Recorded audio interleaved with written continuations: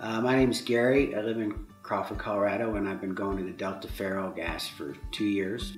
I, anytime I go get my gas tanks filled, I always leave there more happy than when I got there. And I think it's just because their customer service is so ridiculously good.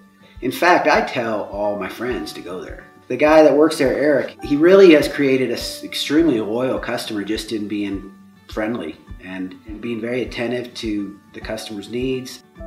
I don't know, I think in today and age with just smartphones and with lack of attention, people are missing out on how to communicate and acknowledge people that people exist. And yeah, I mean, I guess that's what really keeps me coming back. Because I could get it filled closer to town. I could get it filled any number of places closer to other errands. But I mean, I specifically only go there now because it just makes my day.